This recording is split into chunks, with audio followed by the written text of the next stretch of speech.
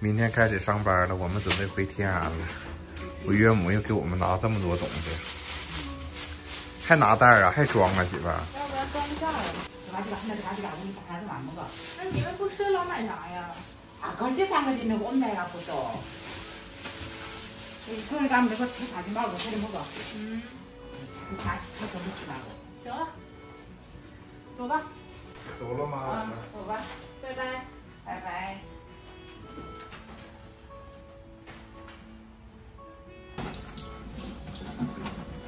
走了。嗯，走了。嗯。嗯。看我跟大胖回来一次，拿了这么多东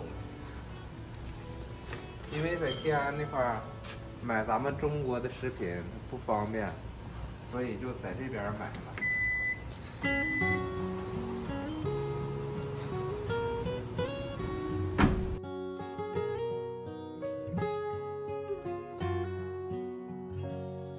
最后是我一个人走过这片海，看着谁在对岸留下一句对白，听见我爱和老胖回天安是一百二十公里，心都已开近不在，两个小时时回间。头再也看不见有你的那片海。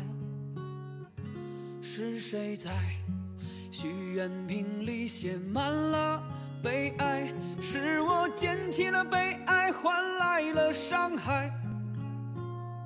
也许是我不该等你，是你不该回来。原本浪漫的邂逅变成了无奈。我们真的不会彼此拥抱，转身再离开，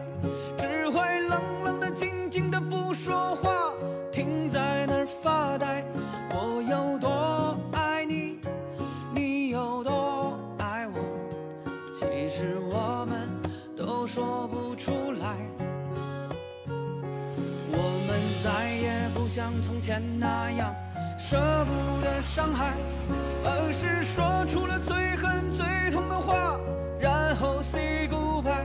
你忘记了承诺，我抛弃了最爱。原来我们都是爱着爱着就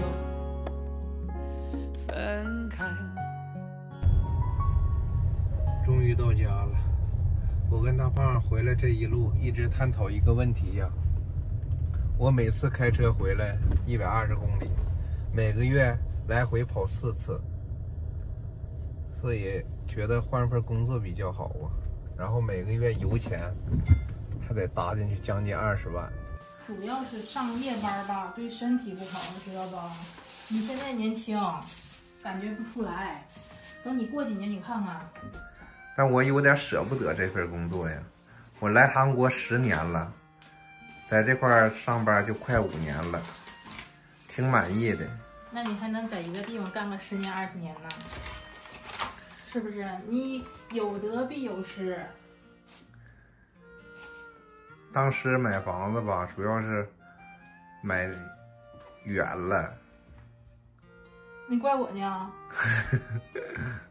没有。那在这边买呀，在这农村买呀。你假如说你到时候也是，你不可能在这干十几年吧？你等走的时候，那你房子在这买了，你还卖呀？这边都卖不出去，我告诉你。我也有点舍不得。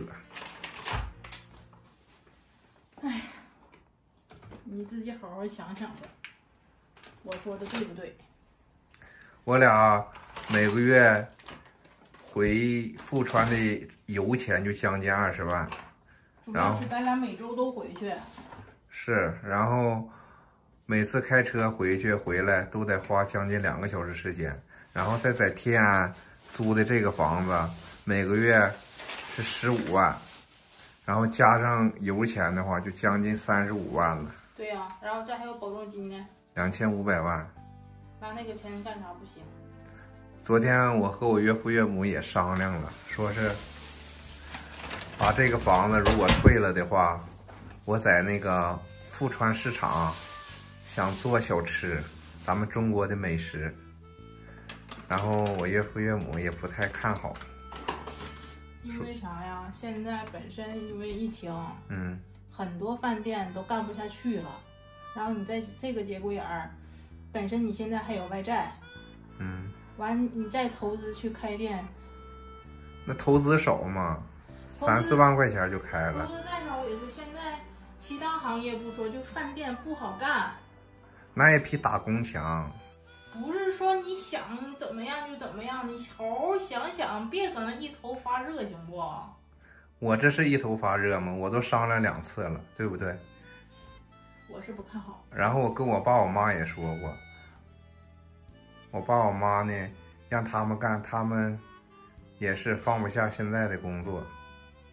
因为这个到底是赔本买卖还是能不能赚，谁也说不好。你不尝试，谁都不知道。是我现在的现现在想的是，在这个房子退了，嗯咱们上富川嗯，好好研究研究，是在那边再找个工作呀，还是干什么？就假如说你摆摊儿也是那个富川那个摊位不便宜，他你别看那一个五平方的五平方的房子啊，它有租金，再加上押金，完了还有韩国还有那个叫권리금，就是好地盘儿那권리금就更贵，我都查过了。之前我在富川就看好一个项目，做咱们中国的熟食，然后我媳妇当时不同意，现在别人干了，生意老好了。然后我现在又看好一个商机， 就是在富川市场做咱们中国的美食啊，因为那里边中国人也特别多，然后投资又小，总之比打工强吧。但是我媳妇现在又是不太看好，说现在因为疫情啥的。要不这样式的，咱们先考察那个店铺，看看多少钱，嗯，然后如果不行的话，我就在富川找一个长白班的工作。是。但我得先把工作还得联系好了，我这边才能辞职。要不在韩国这么干待，待不起，必须得挣钱，是吧？嗯，所以说都考察好，看看行不行，到底嗯，别一头热。如果行的话，你愿不愿意跟我一起干？可以，但是我就告诉你啊，你在那边做摆摊的话，那都是辛苦钱，你能不能干？辛苦有打工辛苦啊！我告诉你，摆摊你看着容易啊，他起早贪黑的，早上起来准备东西。我都打听好了，